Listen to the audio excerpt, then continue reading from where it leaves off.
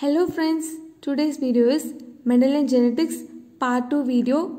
If you didn't watch part 1 video, please watch it and if you didn't subscribe our channel, please subscribe and press the bell icon. Now let's go for the video. First, what is gene? We all know it is a hereditary material that is the inherited factor that determines biological characteristics of an organism okay these are genes okay? And mendel called gene as factors okay? Uh, he don't know the name that time so he called them as factors. It is very important question. And what is allele?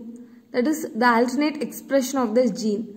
It is nothing but variant form of the gene. Here coming to the definition the alternative form of gene occupying the same locus of the homologous chromosome. Okay that's all about allele and locus. It is a position of gene in the chromosome. Okay. These are some important terminologies. And what is dominant? That is in F1 generation. That is if A and B is crossed means if uh, the character of A is expressed and B is suppressed. Here the expressed character is called dominant. That is the expression of one allele by the suppression of another allele of a same gene is called dominance. And the dominant characters are expressed in capital letter and recessive. The suppressed character in F1 generation is called recessive. That is uh, the characters which are lacking that ability to express in F1 generation are called recessive and they are usually expressed in small letters. Okay. Alphabetical small letters are recessive and capital letters are dominant.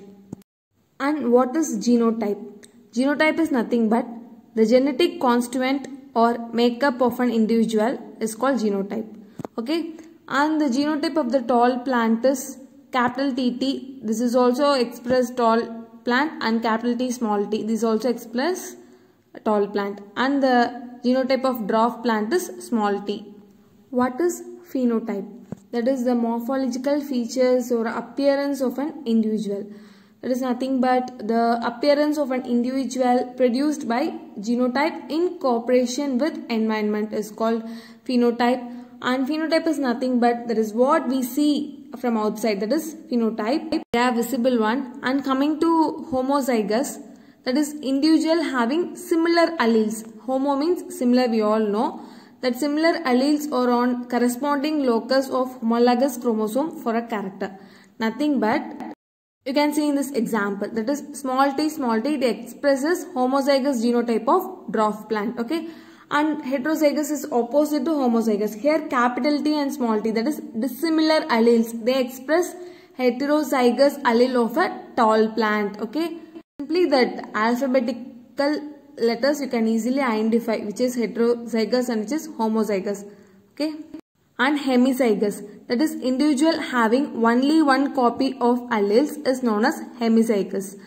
This is simple example is human male sex chromosome that is they contains XY. Coming to pure line. Pure line is nothing but it is a progeny of single homozygous self-pollinated plant. That is uh, you can see in this uh, pure line is a plant which breeds true on selfing and they produces only one type of offspring on self-pollination. It is very important.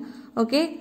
And only pure breeding varieties we will say these are some important terminologies and coming to monohybrid. Monohybrid is nothing but that is uh, when two parents are crossed one, one F1 will be produced. Okay. How it is produced means one gene pair will affect one character only. This is monohybrid.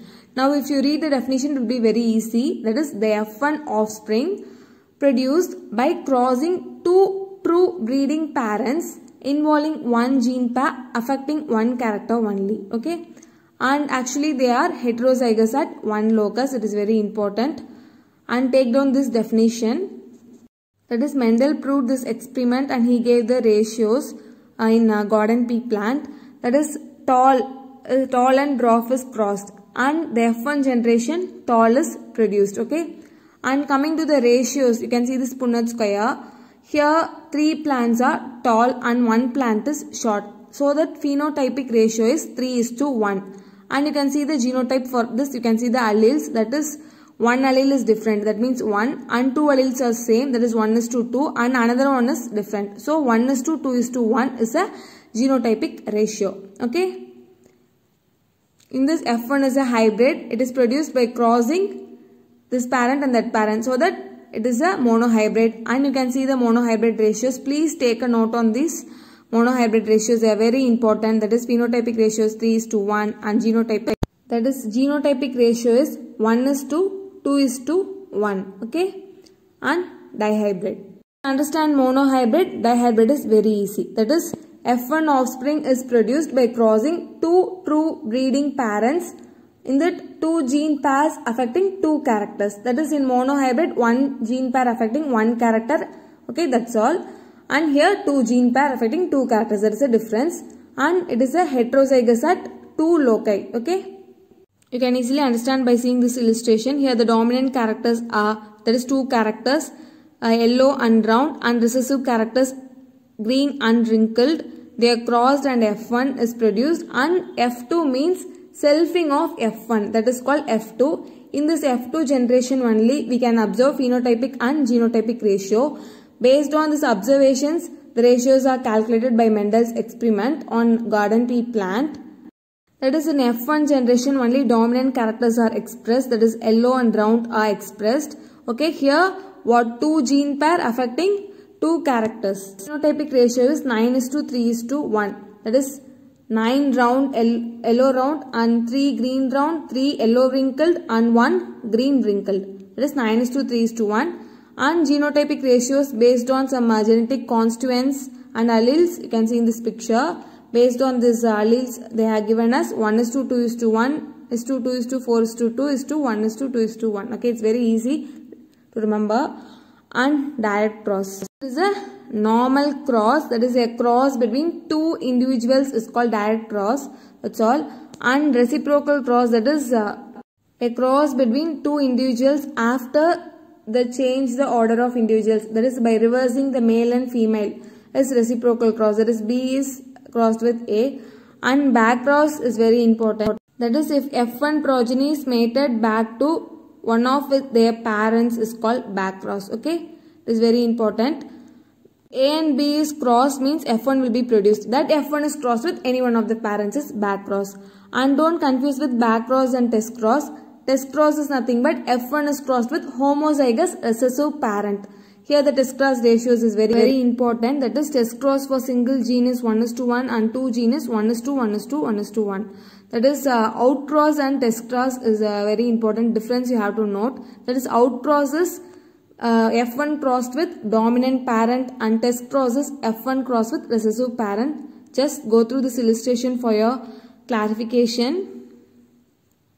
It's very important. Test cross and uh, back cross are frequently asked question. And Mendel's laws. We are going to see two important laws given by Mendel. That is first law. It is law of segregation. Other name is law of purity of gametes. Okay. What this law states means that is allelic genes in a hybrid do not blend or contaminate each other. But they will segregate and pass into different gametes in equal number when means during gamete formation. Okay, this is easily understandable law. You can nicely understand by seeing some illustrations.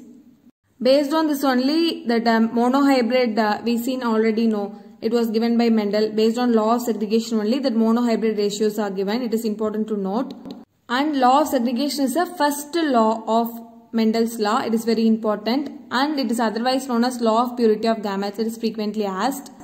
Note this example for easily understanding. That is here dominant character is tall and recessive character is dwarf.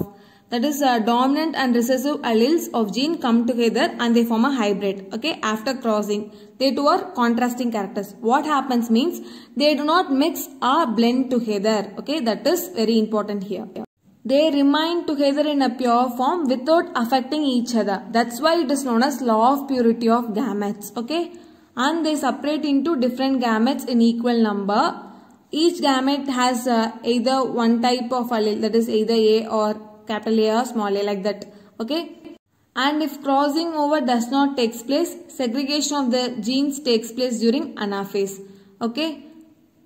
and with complete dominance segregation leads to phenotypic ratio that is we had already seen that is 3 is to 1 monohybrid phenotypic ratio and monohybrid genotypic ratio 9 is to 3 is to 3 is to 1 based on this law of segregation only Mendel gave these laws uh, these ratios. These are very important. And evidences or examples for law of segregation is very very important. They will be asked in some objective questions. So please take a note.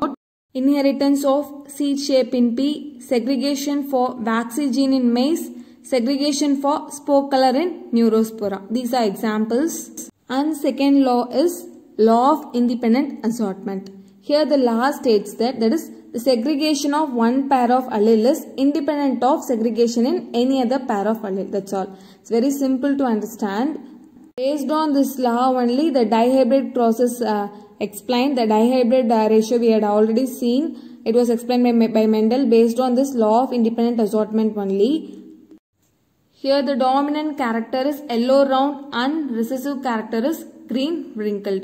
We had already seen about that expressions in uh, while seeing dihybrid uh, ratios.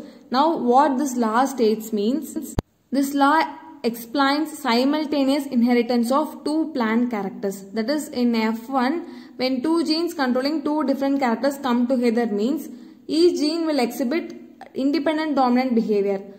They will exhibit that but they will not modify or affect the other gene. That is very important and they will segregate during gamete formation independently. Okay, that's why it is called law of independent assortment. And random or free assortment of alleles of two genes, it will lead to formation of new gene combinations. Okay, that is alleles of one gene can freely combine with alleles of another gene. Okay, that's all about this law. And finally coming to the calculation of phenotypic and genotypic ratio, you can use this formula. If n is equal to what means you can easily calculate this 3 is to 1 into n and 1 is to 2 is to 1 into n. Using this you can calculate. Please take a note on note this formula. And if you didn't subscribe our channel, please subscribe and share with your friends. Study well and telegram channel link is in description box. You can join with us and all the best. And if you have any queries regarding the videos and what type of videos you need and if, you need any changes, please comment in comment section. And thank you for watching. All the best.